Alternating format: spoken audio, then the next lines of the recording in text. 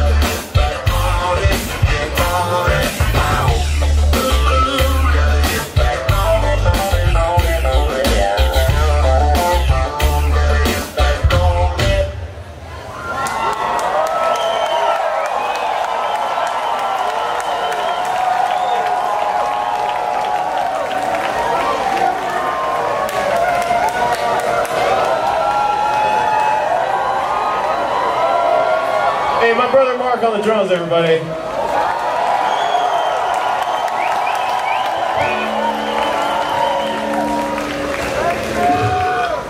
Alright, we never played this one live before. It's called Summer Fling.